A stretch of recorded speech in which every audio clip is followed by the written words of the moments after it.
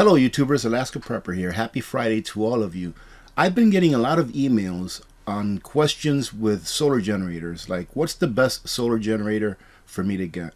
So I thought I'd put together this video real quick to let you know what it is that I look for in a solar generator if I wanted to do a certain job. So hopefully after this video you'll be able to identify what kind of solar generator you should get for your needs and at what cost. Uh, so you can identify whether you're paying too much for a solar generator or if it's a good deal or if that solar generator is going to suffice what you need in order to power your needs during a power outage. So let's go ahead and start with this first. We are going to cover two solar generators today, ladies and gentlemen, and they both $799 a piece. I'm not going to include what brand or what they are. I'm just going to include the specifications of each solar generator because they are priced identical at $799. And this is not about promoting one or another. This is just hopefully you can get something out of this video. That way you can decide what's best for you. Now the first thing that we're going to cover is the battery capacity. How much energy will that battery store and hold for you for when you need it? The battery type. What kind of battery does it have? It does make a difference what kind of battery it has the life cycles, meaning how many times can you charge and discharge that battery before it starts to lose capacity, right? Before it starts to lose the ability to store X number of watt hours of electricity. The output capacity, meaning what can you plug into that generator and how much energy can you get out of it at once continuous, right?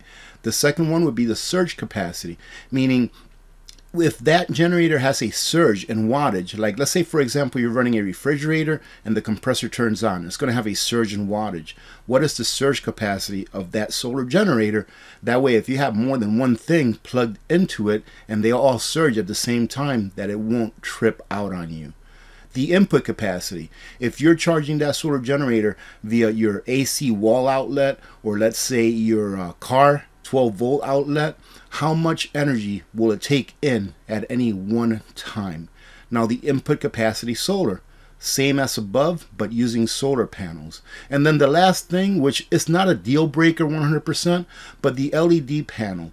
How easy is it for you to be able to diagnose what it is that your solar generator is doing at any given time during use? All right so let's go ahead and get started with the first one. Remember both of these are priced at $799 and I just want to give you a, a good grasp as to what it is that I look for and maybe you can look for when you're deciding to purchase a solar generator at whatever price range or size range that you're looking for. Here are the specifications of the first one. So you can see here the battery capacity is 1002 watt hours. What does that mean? I'm going to put it in as simple terms as I possibly can. Let's say that you have a 1 watt LED bulb plugged into your solar generator, that you're charging it, right, with a solar generator. It means that you will be able to provide electricity to that 1 watt LED bulb for 1002 hours. So you're using 1 watt per hour, you'll be able to power that for 1,002 hours. It has 1,002 watt hours. Now don't think that because it says 1,002 watt hours that it's going to be able to power that LED light bulb for 1,002 hours.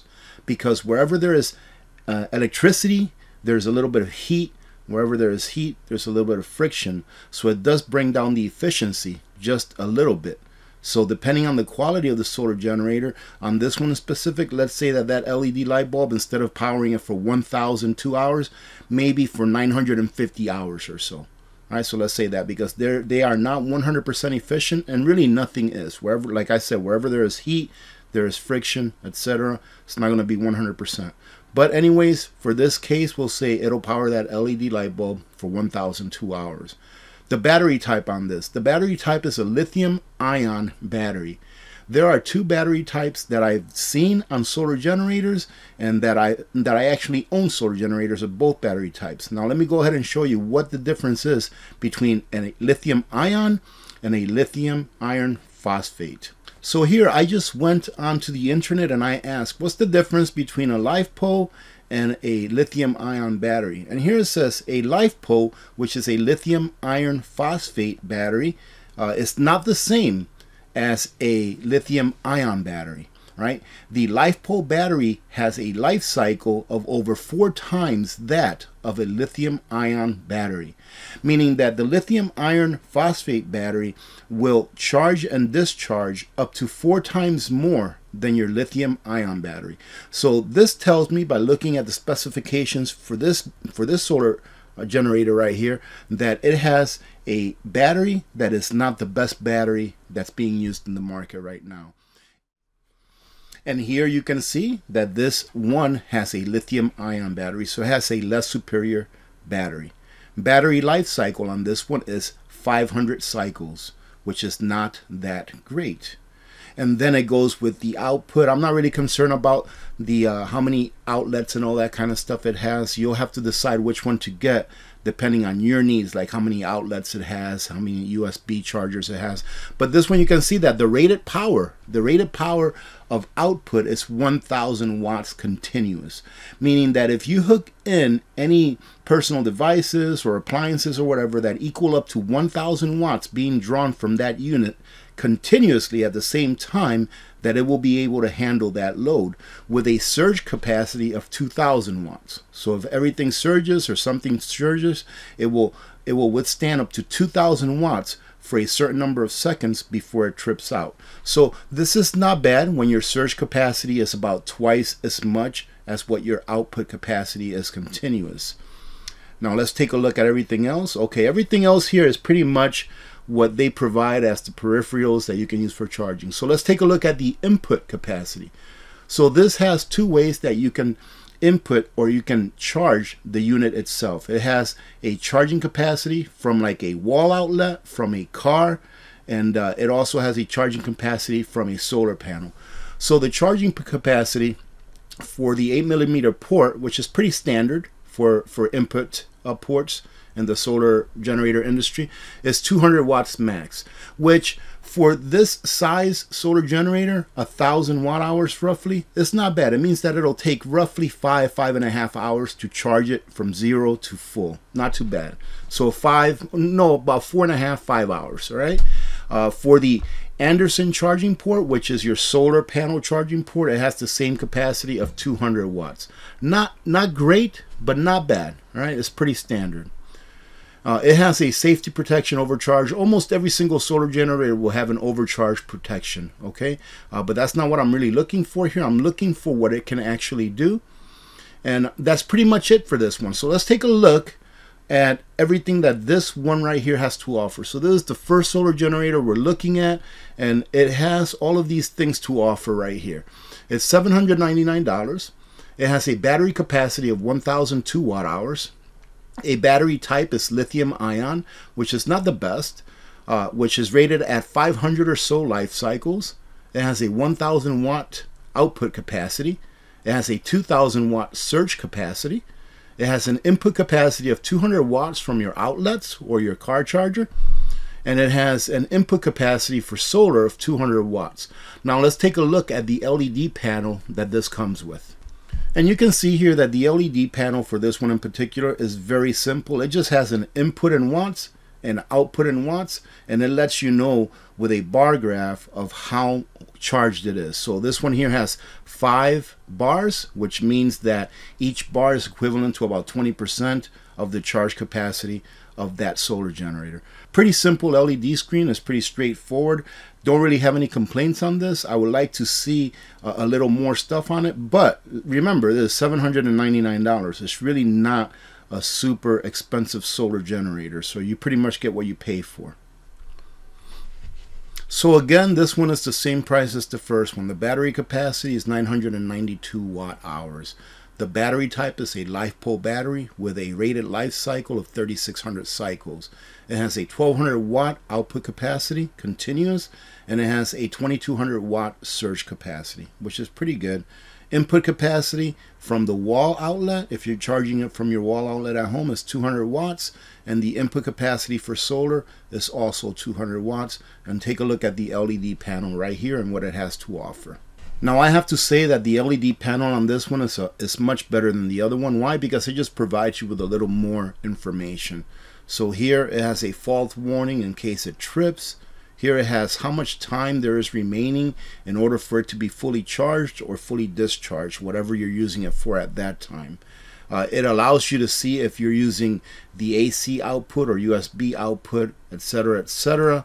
Uh, it has a cooling fan icon whenever the cooling fan turns on, which I don't know why they did this. You know, this is, I guess it doesn't hurt to have it, but uh, I, I never look for a cooling fan icon whenever I'm using my solar generator but it allows you to see if you're charging with your car or if you're charging with with the wall outlet and it tells you how much power you've got coming in or how much power you're discharging at the same time and of course it gives you the amount of battery that there's left in it the amount of capacity that there is left so this one's a little bit better but it's not a deal breaker let's go ahead and compare it compare both of these solar generators together and see which one I would prefer to get and that way it'll give you an idea of what it is that you're looking for. I hope that this is helping. I hope that I'm, that I'm explaining everything in a manner that you can understand.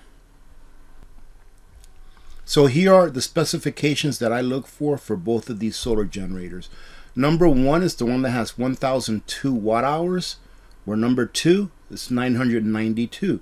So number two is down by 10 watt hours so far. Number one has a lithium ion battery which is not as superior as a LiFePO battery. So number two is up on the battery.